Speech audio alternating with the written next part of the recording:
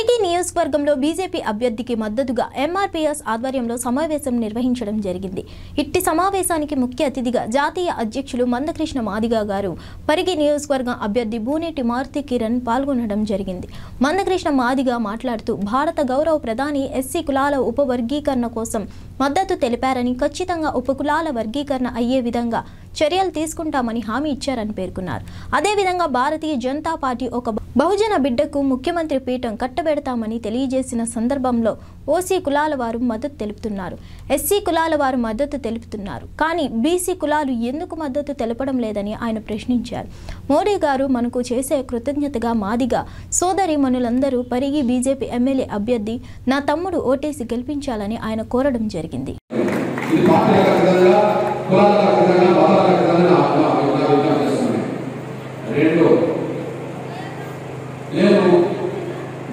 ముప్పై ఏళ్ళుగా మానవతంలో ఉద్యోగం విషయం మీ అందరికీ తెలుసు.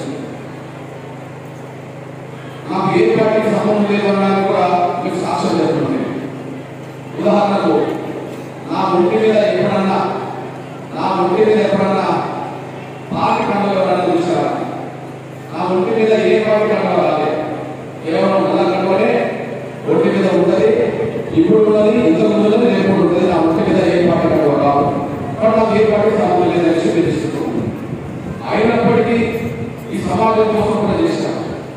ఎవరన్నా ఏమనుకుంటారు అందరి సమాజం అంటే ఒక నాలుగు ఉద్యమాలు ఉన్నాయో అని నమ్ముకుంటారు సహజంగా కానీ ఎంఆర్ఎస్ నాలుగు కోసం ఉందని అనుకో ఏ పురస్కారం కావచ్చు కానీ ప్రధాన రాజకీయ పార్టీలు కూడా పేద వర్గాల సమస్యలు పట్టించుకోకపోతే ఎంఆర్ఎస్ పట్టించుకొని ఉద్యమాలు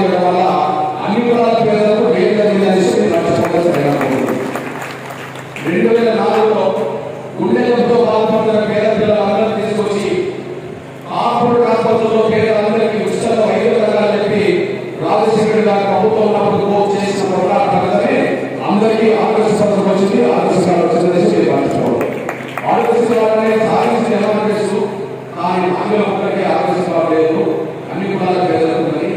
ఈ దేశంలో ప్రపంచంలో రెండు ఆసుపత్రులు ఉంటాయి.